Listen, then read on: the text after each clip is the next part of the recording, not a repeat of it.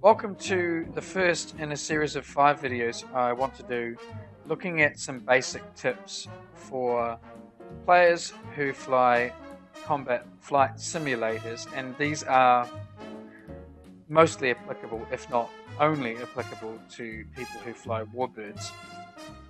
I was originally going to make one video with five tips in it but the first one that uh, I filmed took up quite some time. So I've decided to split them into five separate videos, this being the first, and the content of this one is instruction on how to conduct evasive and breaking turns in what I think is the safest and most effective manner.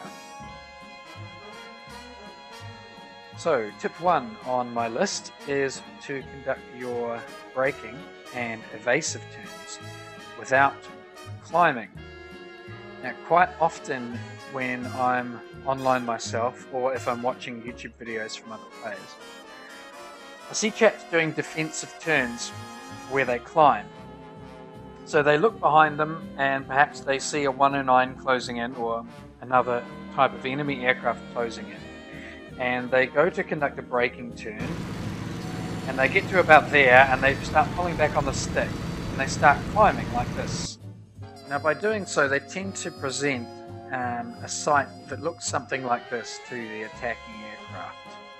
So it's a fairly large target area and the other downfall of uh, the other downside of doing this kind of breaking turn is that the aircraft conducting the evasive maneuver will lose a lot of airspeed very quickly.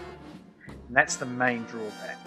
So what I try to do is I try to conduct breaking turns in a way that means I won't gain this altitude and therefore lose my airspeed.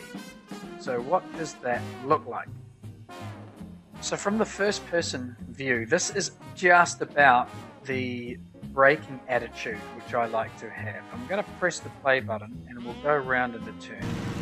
And as you can see, my gun sight pipper should be tracking just above the horizon. I put a little bit of rudder in the same direction as the breaking turn, a little bit more now.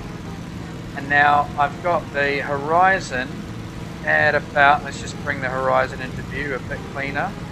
Just keep turning here. Turn away from the sun. Are we going to get a decent horizon? Okay, the horizon is about about there. So sort of between the Pipper and this um, this circle. You can use this um, base of the gun sight circle is a good point to run the horizon along. And you can maintain a fairly steep turn. I've got lots of back pressure on the stick now. And I've probably got wing vortices forming. No, not yet. They will soon. If you pull the nose up, you'll very quickly lead back on speed. They drop down to it's almost gone. So try to keep the nose tracking basically on the horizon. You'll lose altitude, but you'll also be able to hold fairly good airspeed.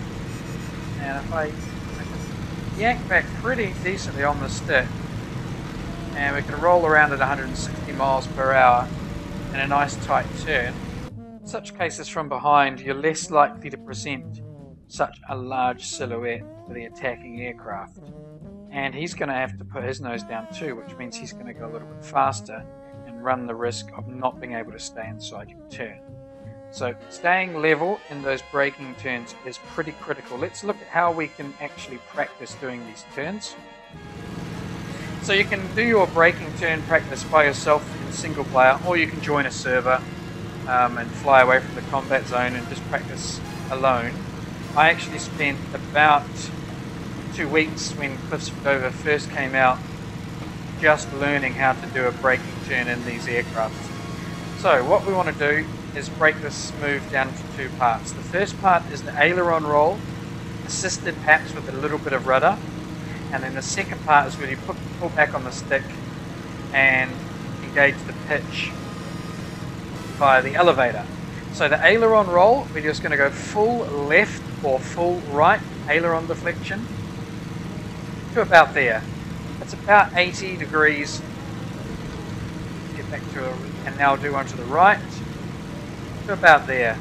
And often what I do is you can line up this where my cursor is, this part where the handhold meets the canopy and, and the uh, gun sight, and draw a straight line between those two points and let the horizon track between those two points. It's a good way to judge when you tip in. So I'm going to tip in on the left now until that thing here hits the horizon.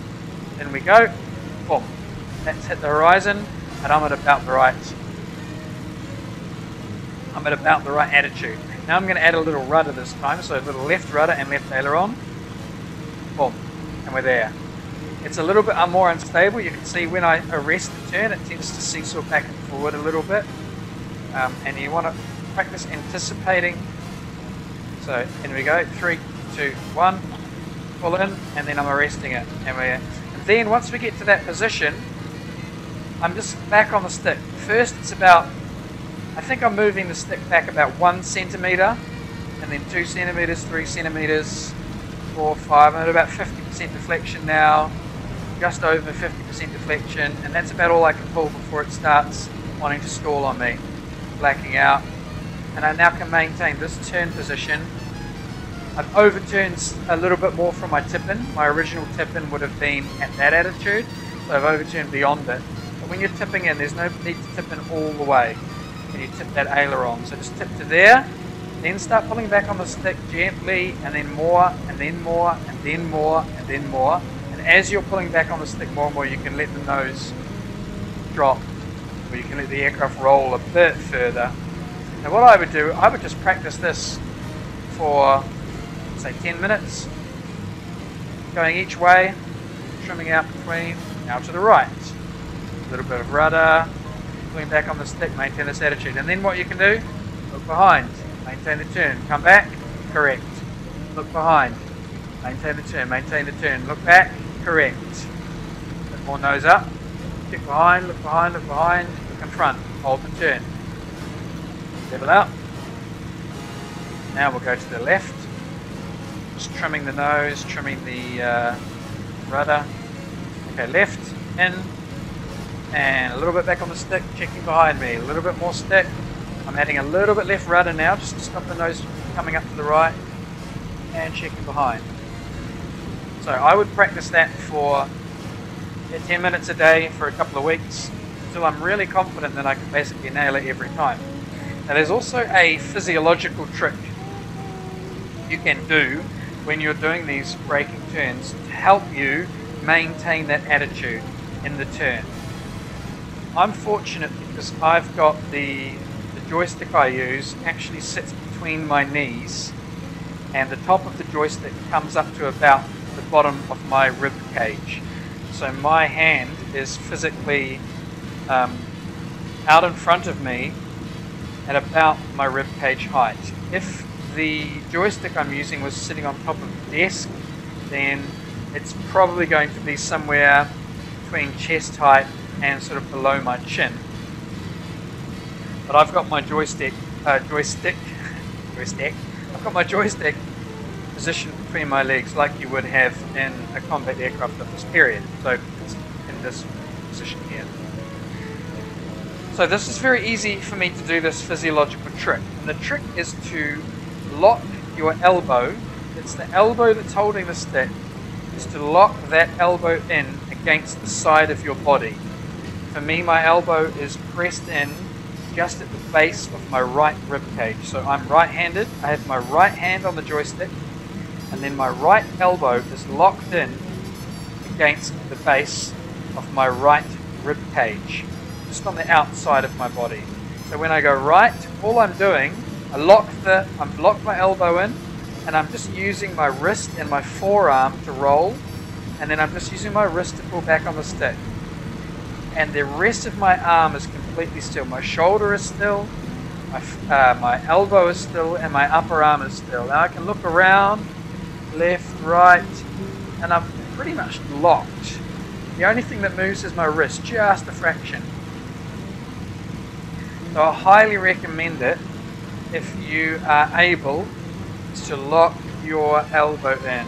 If you let your elbow sit loose away from your body, then much more of your arm's going to be moving when you do these breaking turns and you're much more likely to overcompensate. I'm climbing a little bit there. um, and it's just less precise. When you lock in, if I was to look behind me now, yeah, I've, actually rolled out of the turn. That was completely involuntary. So I'm gonna go, um, my elbow's out, I look behind me, and there's a natural tendency for the aircraft just to start rolling to the left a fraction. If I lock the elbow in, I can look behind me. In fact, I think it even wants to roll a little bit to the right. Yeah, just a fraction to the right. So I highly recommend that you lock that elbow in. So there we go. There's a few um, sort of ways to explain this tip. The tip being conduct your breaking turns without climbing. And there are a few things to remember. Correct attitude. So maintaining the horizon inside that gunsight area. How to tip in with both aileron and rudder. How to apply the elevator, starting off very gentle and then increasing, increasing, increasing. Because if you apply it suddenly like this, you'll just fall and the last tip is to lock your elbow into the side of your body. That'll give you much more precise control and enable you to look back and do other things whilst you're in the breaking turn. So there you go. That's my tips for doing the breaking turn. Practice, practice, practice, practice offline, practice online. Any chance you get, get good at this breaking turn and then get good at doing the breaking turn whilst looking behind you. Got to go round and round in circles, looking at the sky behind, check for correction, look behind, check for correction, look behind. So there we go, tip one, four more coming in following videos. I hope that will help.